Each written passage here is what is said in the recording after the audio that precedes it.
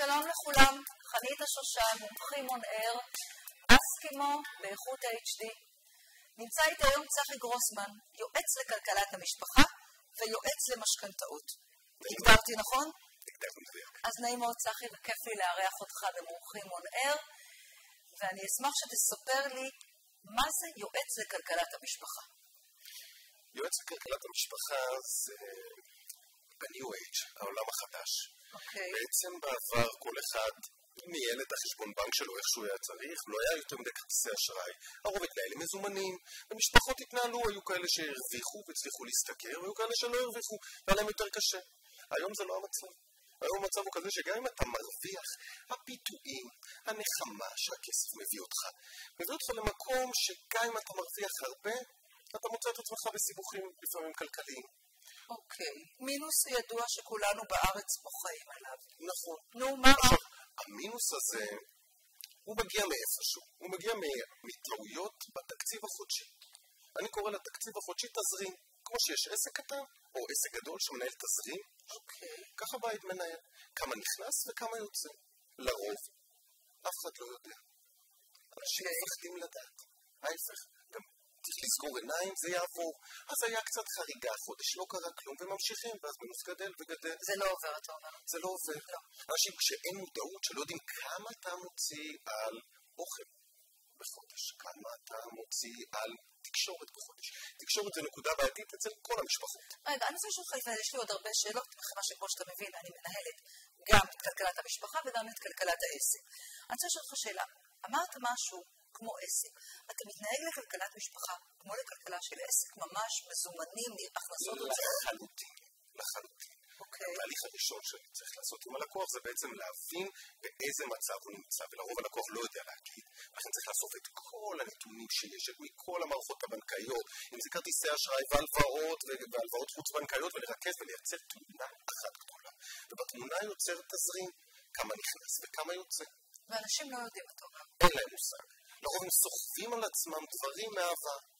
עכשיו, נקודה כזאת שיש לך מינוס רגיל, זה עובר לכל אחד. אבל אז פתאום המשפחה רוצה שדרוג, ומחליטים לקחת הלוואה.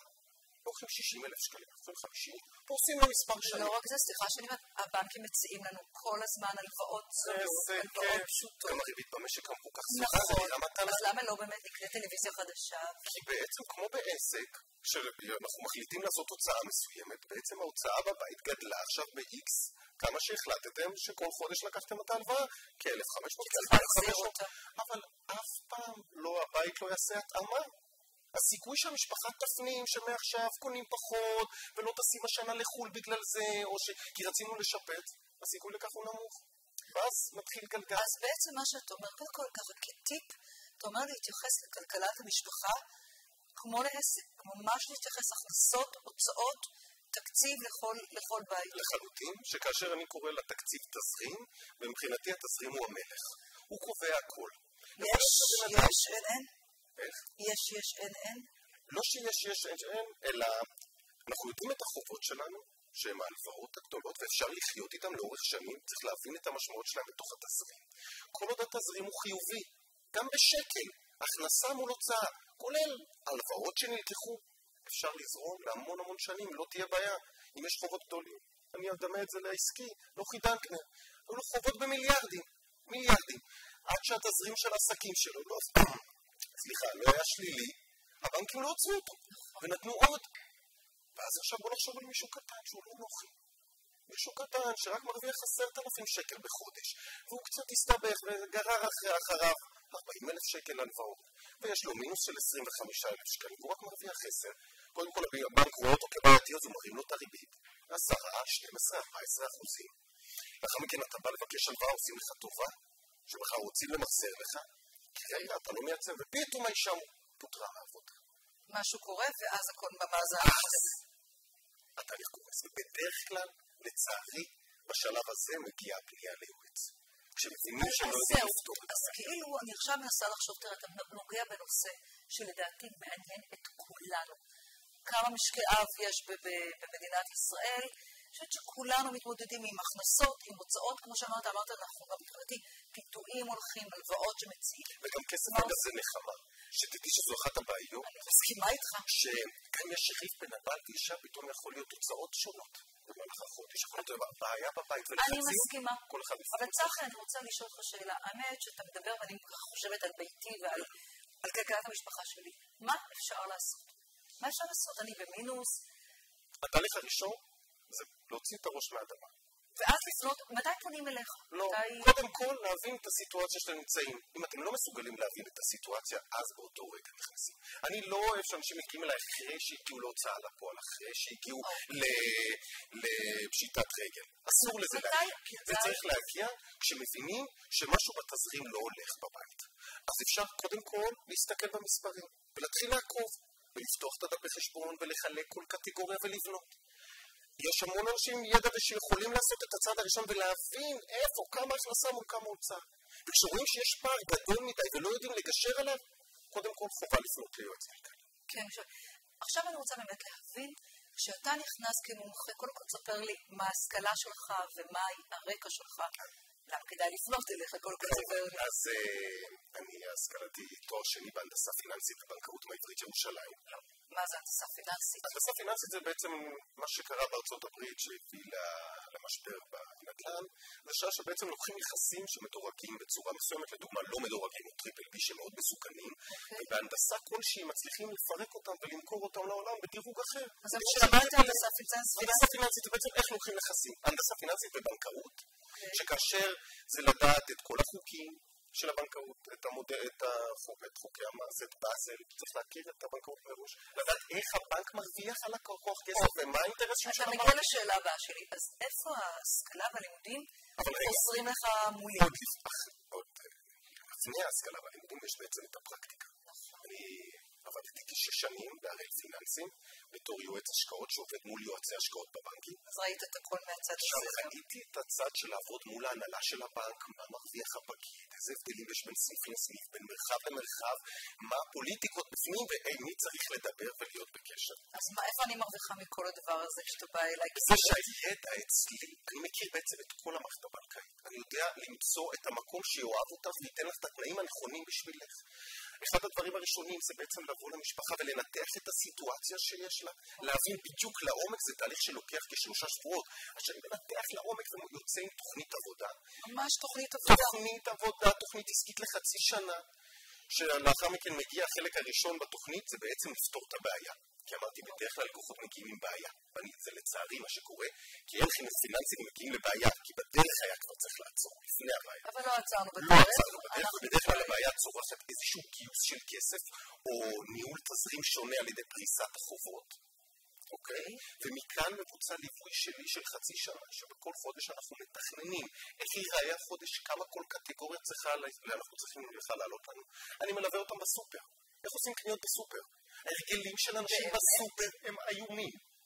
איומים. אנשים, רוב הקניות שלהם, רוב האוכלוסייה עושה קנייה אחת גדולה בסופר הגדול, ורוב הקניות ליד הבית. זה פשוט טעות מוחלטת. נראה לי שביקרת אצלי בבית. כנראה. כנראה, כן. ככה אנשים נוהגים. קודם כל הקניות ליד הבית הן קניות שתמיד גוררות עצמן. עוד סוגיות ועוד משהו קטן. הוצאה, קופה? בטח. ובדרך כלל ב-20 עד 30 אחוז יותר יקר מסופר גדול. זה בעיה אחת. בעיות של תקשורת, זה שאנשים לא זוכרים את החוזים שהם עשו.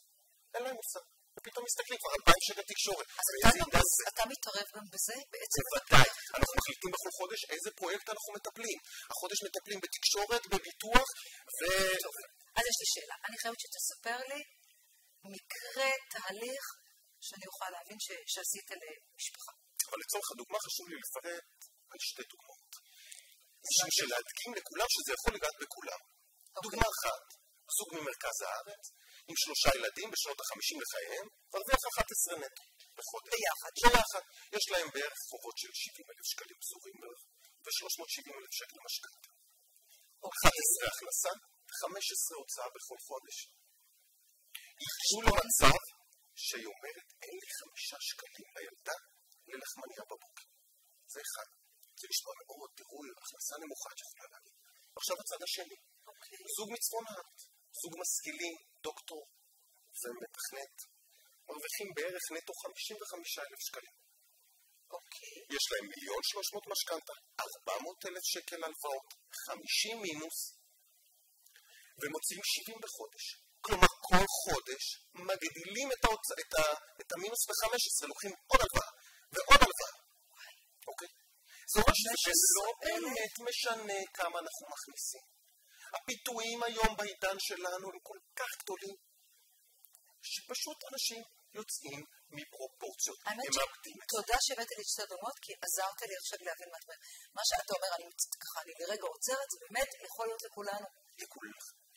ואם אני מבינה אותך נכון, אם אני לוקחת כל אחד מהזוגות, אם זוג אחד יש לו 4,000 שקל פחות, בשנה הוא צובר 50 אלף שקל הגדלת החוב, לא מתייחס בכלל לריבית על זה.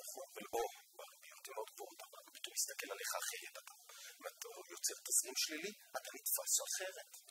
אז מתי אתה אומר, אני חושבת, אני לא אגיד בכוח, חינוך לכלכלת משפחה צריך להיות מהבית ספר, אבל אתה ואני כרגע נכון. לא קיבלנו את המנדט של משרד החינוך. אני אשאל אותך עוד שאלה לפני שאני ככה רוצה. זה עוזר, אם גומרים תהליך איתך, שאתה אומר חצי שנה. חצי שנה הם אמורים לקבל כלים. אם הם יתנגדו לתהליך, זה לא יקרה. ואני לא עושה את זה בשבילם.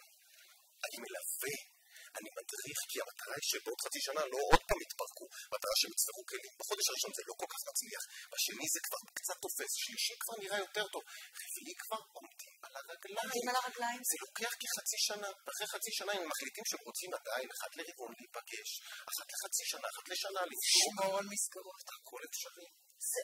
התהליך הזה עזר למשפחות, הציל אותם. עשרות משפחות. חד משמעית. איזה כיף. את לא מבינה, זה הסיפור. אז זהו, אני רואה את הפנים שלך עכשיו. אושר. לא, רק הלקוחות שמביאים לקוחות זה העוצמה הכי גדולה שלי וזה האושר שלי להביא אנשים להוציא אותם מהסיטואציה. אני רוצה, אתה אמרת לי קודם שדיברנו שאתה מתעסק גם בנושא של משכנתאות. תסביר לי, לקח, הייתי בבנק, לקחתי משכנתה, התווכחתי על הריבית. מצוין. אז רגע לפני הריבית, למשכנתה יש כלי מאוד חזק גם בכלכלת משפחה. וזה טיפ אחד שחשוב לי לתת לקהל.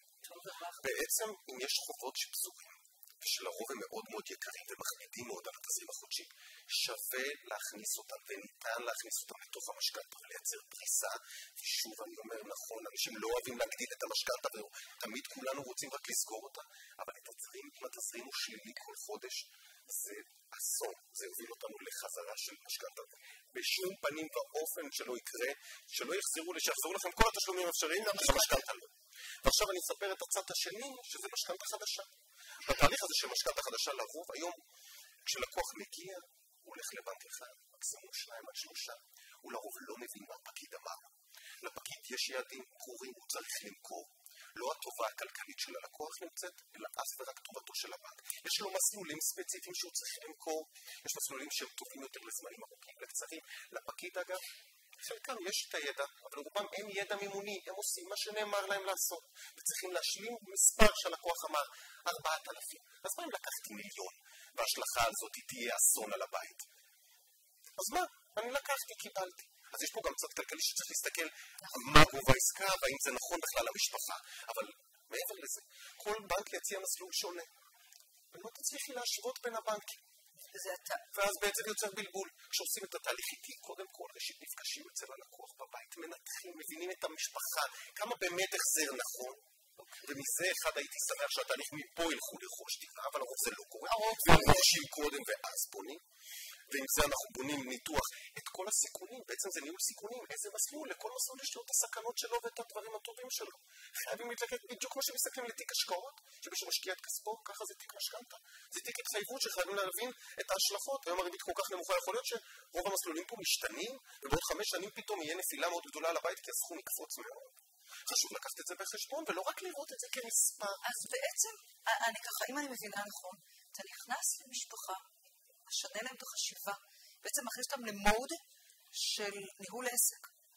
וכשאני מתעסק במשכנתה הם פחות רוצים שאני אגע בניהול עסק. לפעמים כאשר אני נוגע במשכנתה אני מבין שיש בעיה בבית ואני מציע את השם. אה, זאת אומרת, זה שני שירותים שיכולים להיות שונים או משולבים. זאת אומרת, אפשר לפנות אליך אם רוצים לפני שלוקחים משכנתה או כדי למחזר משכנתה בדיוק. אפשר לפנות אליך לשפר ולייעל את כלכלת המשפחה ולעשות אחרת, וכמובן...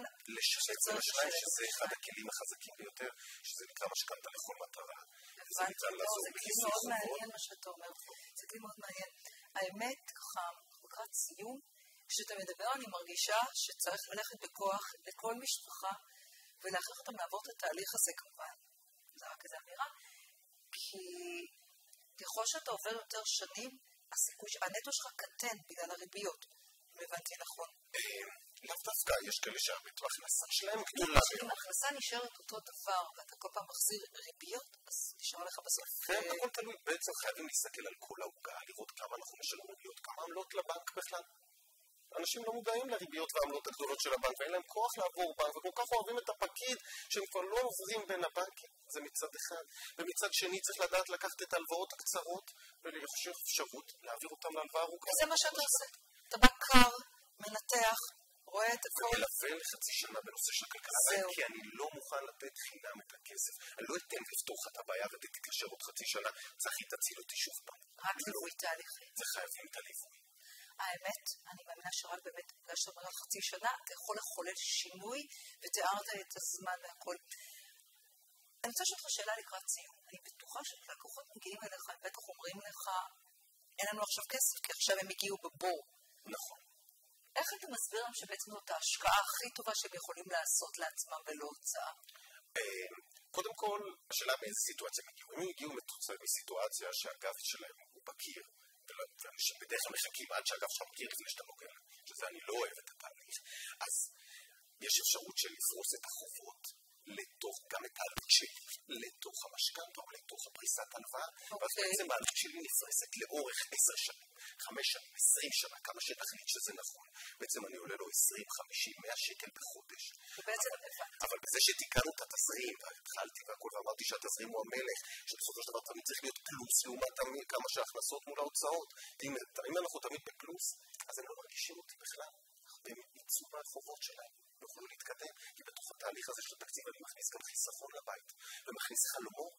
יש מישהו שחלום שלו לצאת לנופש סוף כל סוף, או יש מישהו חלום שלו לעבור דירה. אבל אם לא תכניס את זה לתזרים כבר היום, את החיסכון, לצורך זה, לצורך זה ותתנהל במינוס, לא תגיע לשום מקום.